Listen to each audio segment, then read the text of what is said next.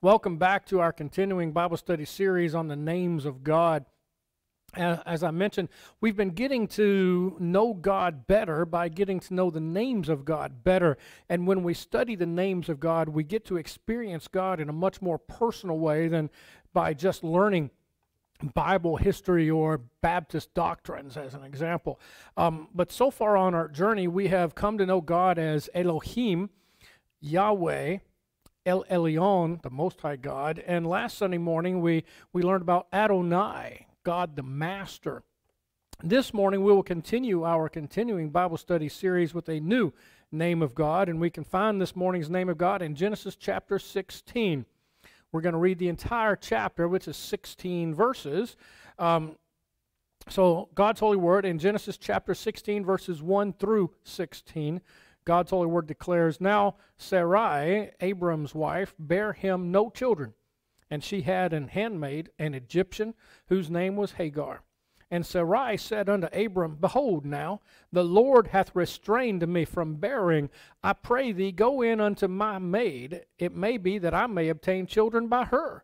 And Abram hearkened to the voice of Sarai. That's some of the saddest words I read in the Bible, right there, by the way. And Sarai, Abram's wife, took Hagar, her maid, the Egyptian, after Abram had uh, dwelt ten years in the land of Canaan, and gave her to her husband Abram to be his wife.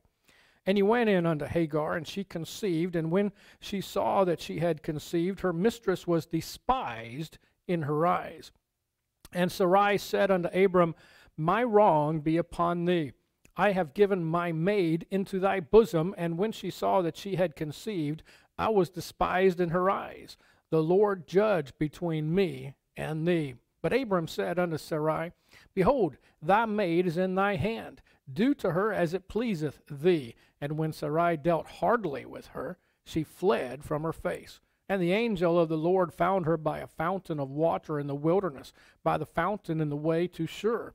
And he said, Hagar, Sarah's maid, whence camest thou? And whither wilt thou go? And she said, I flee from the face of my mistress Sarai. And the angel of the Lord said unto her, Return to thy mistress, and submit thyself unto her hands. And the angel of the Lord said unto her, I will multiply thy seed exceedingly, that it shall not be numbered for multitude.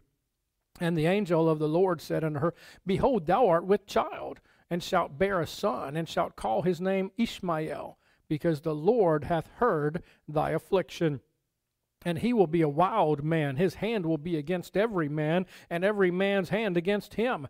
And he shall dwell in the presence of all his brethren.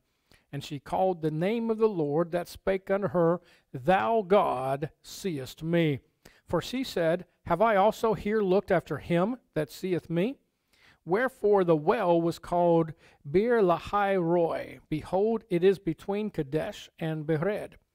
And Hagar bare Abram a son, and Abram called his son's name, which Hagar bare, Ishmael. And Abram was fourscore and six years old when Hagar bare Ishmael to Abram. Now let us look back to Genesis chapter 16, verse 13. And Hagar called the name of the Lord that spake unto her, Thou God seest me. For she said, Have I also here looked after him that seeth me? Now, pretty much everyone um, assembled together here this morning or watching online is familiar with this Bible story. It is the story of Ishmael, the mortal enemy of Israel. It is a very sad story of Abram's lack of faith in God and his precious promise. And Abram's sin that is still causing trouble for God's people even today, more than 4,000 years later. For those of you who may not be familiar with this Bible story, let me very briefly summarize it here for you. Abram, the father, uh, the patriarch, if you will, of the Jewish nation, was growing old, but even though God had already promised Abram not just a son, but descendants beyond number, and yet Abram remained childless. Years before, God had promised Abram that his descendants would number as the dust of the earth that would make a great nation. But how do you make a great nation without even just one child?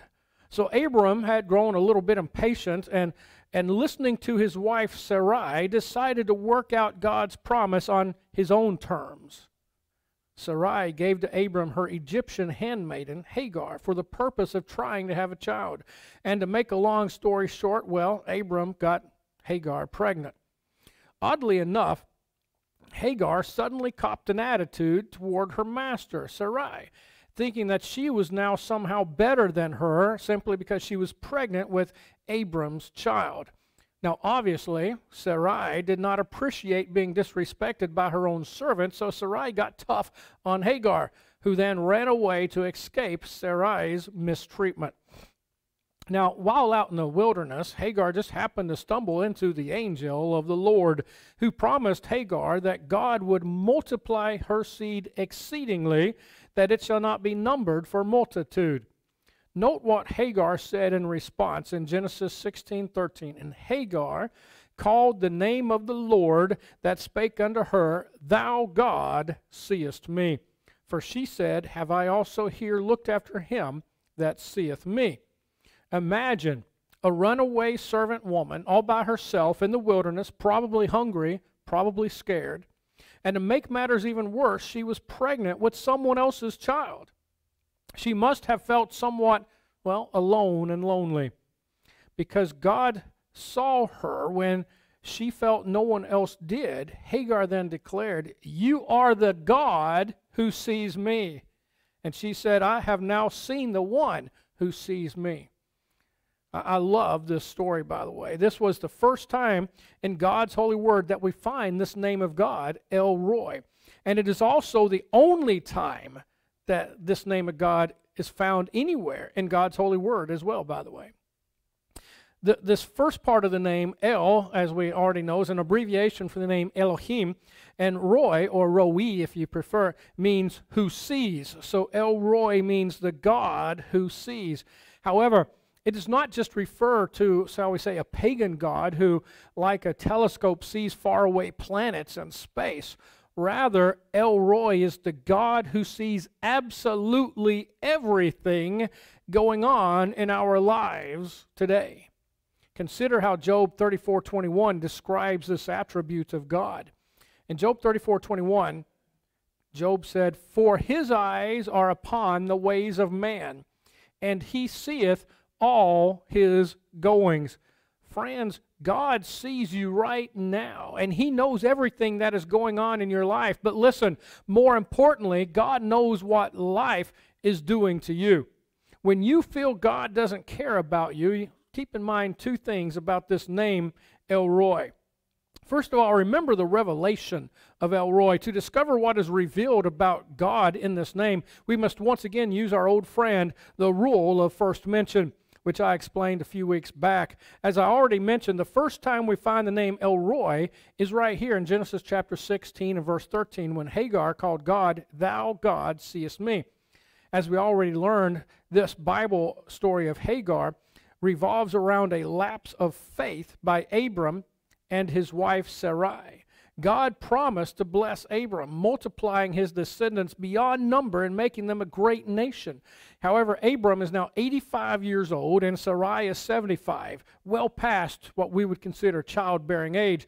With no children, Abram became very discouraged, and instead of waiting in faith for God to fulfill his promise, Sarai told Abram to commit adultery with her Egyptian handmaiden Hagar. Abram, like other of the saints, such as David, Elijah, and even Peter, had lapses of faith. Now, why did God tell us about these lapses of faith? I mean, simply put, we would never be able to relate to these um, saints of the faith, if you will, um, if they were perfect, because none of us are perfect. However, despite their failures, faults, and flaws, God still used them. We can therefore know that God can still use us too in spite of our failures, faults, and flaws as well. That's why I love what God's holy word tells us about one of the greatest of all the prophets in the Old Covenant. In James chapter 5 and verse 17, God's holy word tells us Elias was a man subject to like passions as we are. And he prayed earnestly that it might not rain, and it rained not on the earth by the space of three years and six months. That means that Elijah was a human who made mistakes and disappointed God, just like we do. And yet, God still used the prophet Elijah.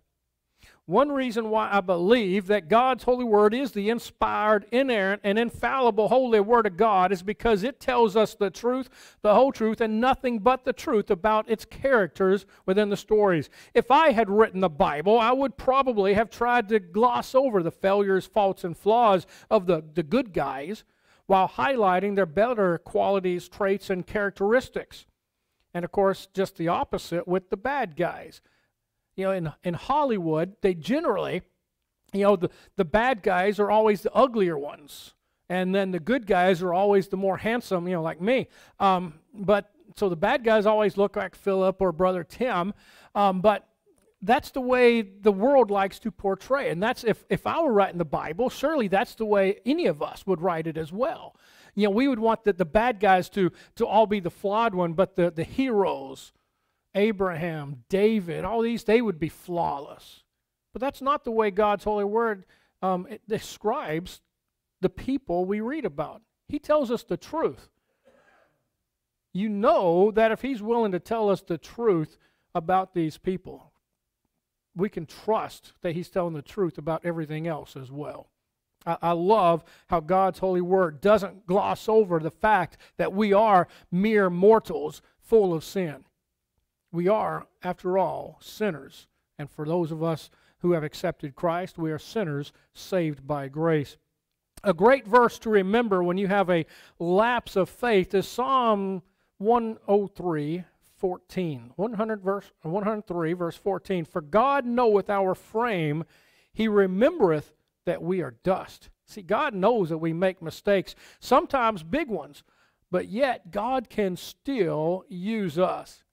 But meanwhile, back at the Bible ranch, following Sarai's suggestion, Abram committed adultery with Hagar, resulting in Hagar being pregnant.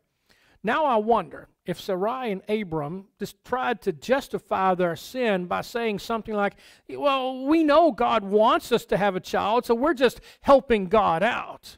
Like God doesn't have the power to do it on his own. So I, I got to help God do what he wants to, uh, to do. Sound familiar? Sure, it does. Christians are constantly trying to justify their sins just like that. We're just trying to do something good for God. That's why we're committing the sin against God. What? That doesn't make sense at all, but that's the way we Christians are. We always want to justify our sins. However, when Hagar became pregnant, she was no longer just Sarai's handmaiden.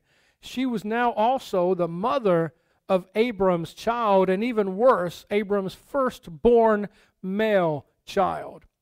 For rather obvious reasons, this apparently caused no shortage of conflict between Hagar and Sarai. When Sarai complained to Abram about it, Abram told her to do whatever she felt was right with Hagar. Therefore, Sarai dealt hardly with her, and Hagar fled into the wilderness where she would probably have died had it not been for God who saw her. Note that it was not just an angel, rather, this was the angel of the Lord, Lord in all four caps, Yahweh, who found her by a fountain of water in the wilderness. This implies that it was probably God Himself. When God first appeared to Moses at the burning bush, do you remember what God's holy word first called God? The angel of the Lord. We are each of these two events is an example of what is called a theophany which is an earthly manifestation of God. That is what Hagar later called the angel El Roi, or Thou, God, seest me. There in the desert, God told Hagar that she was pregnant with a son and would have many descendants. God then told her, Thou shalt call his name Ishmael, because the Lord hath heard thy affliction. This name ends with El, an abbreviation for Elohim. Now remember, in God's holy word, um, names that have El in it, beginning or ending, um, means that has something to do with God. And in this case, Ishmael means God hears. But note what else God told Hagar in Genesis 16, verse 12. And he will be a wild man his hand will be against every man, and every man's hand against him, and he shall dwell in the presence of all his brethren. Ishmael was the firstborn son of Abram, but he was not the son of promise. About 14 years later, when Abraham was 100 years old, God fulfilled his promise, and Abraham had a son by Sarah, whom they named Isaac. Ishmael's descendants are called Arabs, and Isaac's are called Jews. Arab countries are those whose primary language is Arabic, including present day countries such as Kuwait, Iraq, Saudi Arabia, Jordan. Jews and Arabs are both descendants of Abraham. But what did God promise Abraham in Genesis 15 18? In the same day, the Lord made a covenant with Abram, saying, Unto thy seed have I given this land, from the river of Egypt unto the great river, the river Euphrates. Now, the western border, the river Egypt, which many uh, of us believe is, is the Nile, would include a portion of Egypt. The eastern border, the Euphrates River, would include Jordan, about one half of Syria, and one third of Iraq.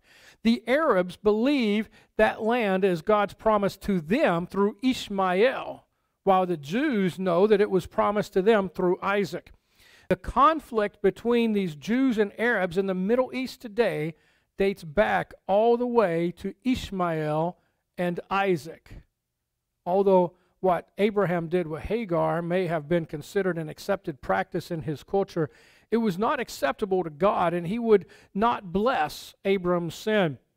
Like all plans contrary to God's will, Sarah and Abraham's sinful scheme soon turned sour. Abraham did not have a Bible, so he had to learn from experience what truth that we now find in Psalm 127 and verse 1. Except the Lord build the house, they labor in vain that build it. Except the Lord keep the city, the watchman waketh, but in vain. One little sin has resulted in more than 4,000 years of problems. One little sin. That's all it took. And that sin was not the adultery, by the way. What was the sin that Abraham committed? Disobedience. It was a lack of faith. He just didn't do what God said to do because he didn't trust God.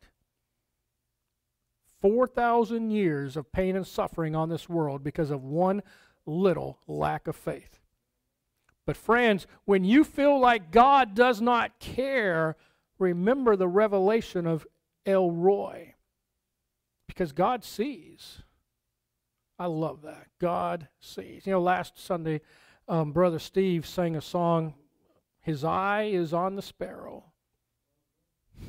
I love that song.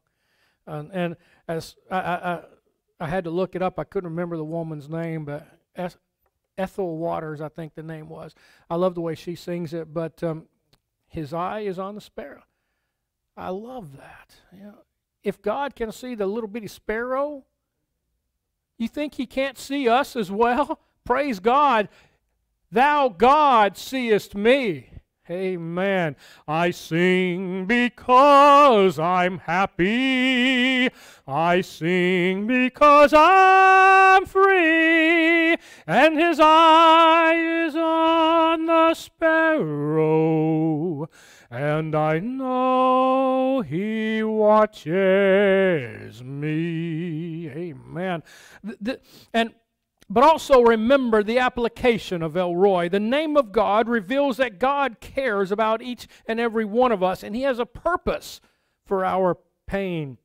When we are first introduced to God as El Roi, what does He tell Hagar to do in Genesis chapter 16, verse 9? And the angel of the Lord said unto her, Return to thy mistress and submit thyself under her hands.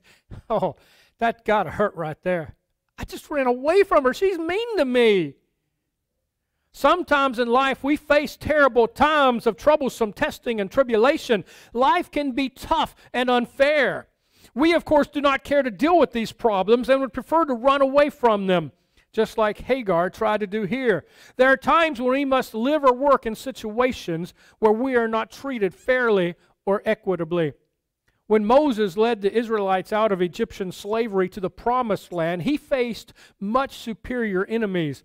His enemies were trained warriors, while the Hebrews were only slaves.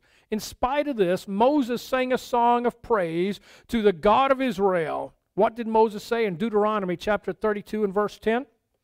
He found in him a desert land and in the waste howling wilderness. He led him about, he instructed him, he kept him as the apple of his eye. The phrase apple of his eye implies extremely um, dear and close. During their time in Egypt, after Joseph died, the Israelites certainly did not feel like they were the apple of God's eye, but they always were. God's holy word is basically a record of the fact that God always has a reason for allowing bad things to happen to good people. After saying Israel was the apple of God's eye, look at how Moses described God in, in chapter uh, Deuteronomy 32, verse 11. As an eagle stirreth up her nest, fluttereth over her young, spreadeth abroad her wings, taketh them, beareth them on her wings. The Lord El Roi sees us and sometimes exercises his loving care over us like an eagle. By stirring up the nest with its wings, the eagle thrusts the young eaglets out into the air to teach them to fly. But it does not leave them to fall to their deaths. If the eaglets cannot fly, the eagle will swoop down and catch them on her wings. I like that. And this, look it up. This is true story. But in a similar way, El Roi saw all the abuse of the Israelites in Egypt, but allowed it to stir them out of their nest and on, and on to the promised land. Had the Israelites' lives in Egypt been easy, they would have never been willing to leave the wealth and security of the most powerful nation on earth to endure the desert and then fight far superior enemies to inhabit their promised land. There's an old saying people don't change until the pain of continuing as they are exceeds the pain of change. God had to allow the pain of Egypt to exceed the pain of the desert and fighting for the promised land before the Israelites would be willing to leave Egypt. Not only did God want the Israelites out of Egypt, but He also, and more importantly, wanted them in the promised land. Sometimes, when it seems God does not see or care, maybe God is simply allowing bad things to happen to us to get us into something better, not just out of something bad. Maybe God has allowed something bad in your life to get you into church or into a new group of Christian friends. Perhaps right now you are having a tough go at it and it seems like God does not see you. If so, maybe you need to pray that wonderful prayer found in Psalm 17 and verse 8. Keep me as the apple of the eye, hide me under the shadow of thy wings. When you feel God does not care, remember the name of God, El Roi. God sees you. Friends, when we feel most invisible and forgotten by everyone else, we can remember that God does see us. God witnesses our struggles and comes alongside us. After all, if God sees the sparrows and, and takes care of them, how much more does God care for us in our greatest times of need? Of course, we can see many examples of God seeing those who society chooses not to see. Think about Christ Jesus. He healed the lepers, the blind men, and even the demon possessed. Christ Jesus even sat down and had a conversation with the Samaritan woman at Jacob's well. In fact, it seems that throughout all of God's holy word, God chooses to see the unseen. Sometimes it can be easy to think that God has forgotten us or that maybe God just does not see us. But according to this name of God, El Roi, absolutely nothing could be further from the truth. Let me ask you this Do you ever write down your prayers? Do you then ever go back over your old prayers from years before and see how God has moved in your life since then? I, I suggest that you try it, and I promise that you will see that God does see you. It is in the dark of the night that we may feel as though God has abandoned us. Or maybe it is in the midst of the storm that you feel as though God may have fallen asleep in the back of the boat. But, friends, when you look back over past troubles in our lives, we can see that God was always there. And even though maybe God did not do what we wanted Him to do, we can absolutely know that God saw us in those times of trouble. And because God does not change, if God saw us then, then God still sees us today, and God will still see us tomorrow. In Matthew chapter 10 and verse 30, God's holy word tells us that God knows even the number of the hairs on our heads. for some of us. Maybe that is even easier than others to be able to count. But what this means for us is that out of the billions of people in this world, God knows more about you than you do. Consider who Christ Jesus came to seek out and to save. See, Christ Jesus came for us, the lowest of the low down, no good, good for nothing, dirty, rotten sinners. Christ Jesus was accused of hanging out with prostitutes, tax collectors, and sinners.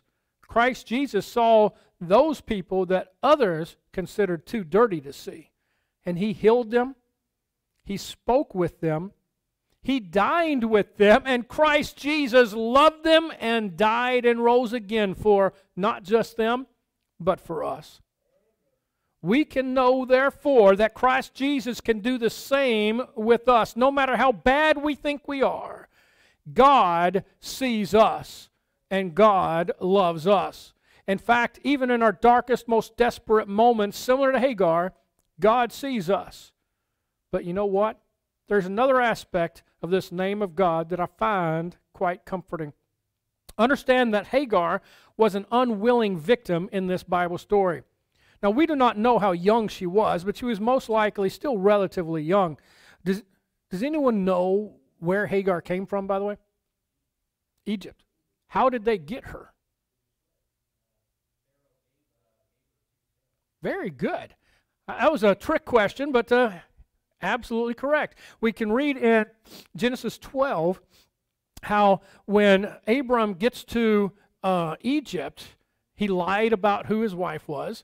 Pharaoh, to make up for his mistake of trying to marry a married woman, gave a bunch of servants, male servants and female servants, to Abram. Most likely, this is where she came from. She would have been pretty young back then, so she was just a slave. She didn't want to be with them. She was given away as a piece of property. She's an unwilling victim in this entire story. She's most likely in her early 20s. This is 10 years later from that moment, by the way. Um, so she probably would have been, who knows, 12 years old, um, maybe even a little younger. And she's handed over, so now she's pretty young.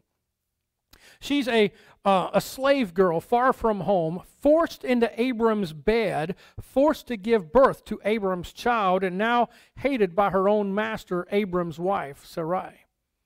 But had it not been for Sarai and Abram's sinful failure to trust God, this Bible story would not even exist. In fact, Ishmael was never even supposed to be born.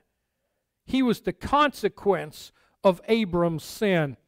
But even though Sarai and Abram knowingly and willingly sinned against God, pay very close attention to how God responded to Hagar's situation.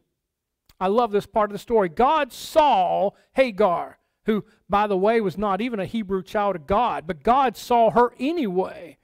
And God loved and blessed Hagar and Ishmael anyway.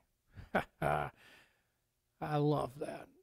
You know, we always like to tend to think that just because we've done something wrong um, or we're a victim of someone else's wrongdoing or whatever, that God doesn't see us. He saw a victim, not even one of his own children, and he blessed her anyway. Now, granted, that child has been a, you know a thorn in the world's flesh for over 4,000 years. But think about that. Just because you have done something wrong against God does not mean God will stop seeing you. God sees everything good and bad. And God still loves you, good or bad. What an amazingly awesome promise that we find in this name of God, El Roi. I love that because we all have done something wrong. No one here is perfect. We're all sinners. Hopefully, we're all sinners saved by grace, but we're all sinners. And, and uh, every week, I, I share kind of a personal story about how important names are. Well, many moons ago, while I was still working as a bicycle patrol officer at that university campus in North Carolina, I met and started dating a young woman among many. But anyway, uh, about two months of dating this young woman, true story, she, I'm throwing my hand up, she sat down and she asked me, Roy, what is my name? Now, I, I ain't making this stuff up. Quite embarrassingly, I was then forced to admit that even though I had been dating this girl for two whole months, I had no idea what her name was. I, I, I didn't. I, I, I, had no idea. I, have been trying to sneakily find it out, but she wouldn't leave her, her uh, driver's license around for me to check. So I had no idea what her name was. Two months we dated, and I didn't even know her name. Now, how does that apply to this? You know, for I don't know how many years, some of you may have heard the name El Roi before. Some of you may have not. It doesn't matter whether you know God's all these Bible names of God or not. No matter what, God still sees you.